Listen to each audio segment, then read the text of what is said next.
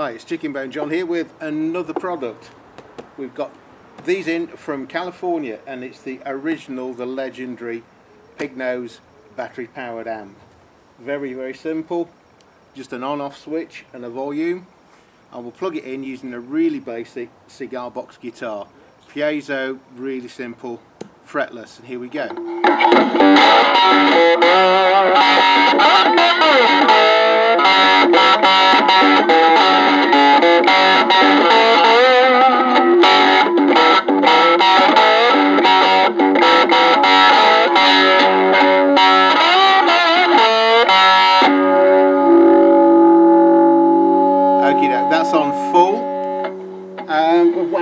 It's not feeding back.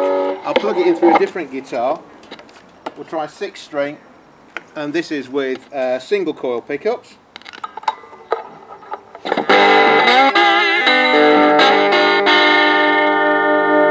Wind it up a bit. This is the treble.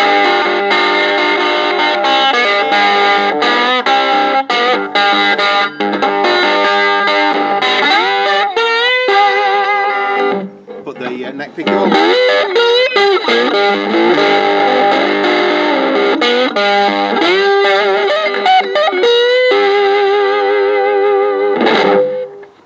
no subtlety to these amps. You get a lot of overdrive, but for what they are, just a very small amp, you do get quite a lot of poke out of it. And this is into a, a regular six string with humbuckers this time.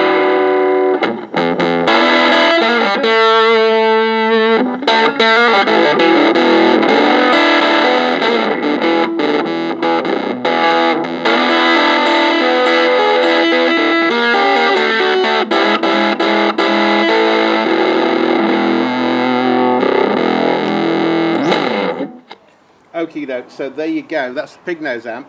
It's very, as I say, very, very simple. It's been around for over 40 years now.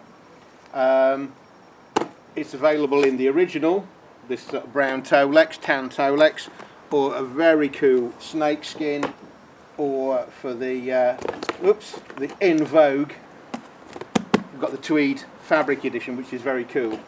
Um, there's, as I say, it's very simple. You, I think these are rated at 5 watts. You've just got an input, the very, very cool Pignose volume control.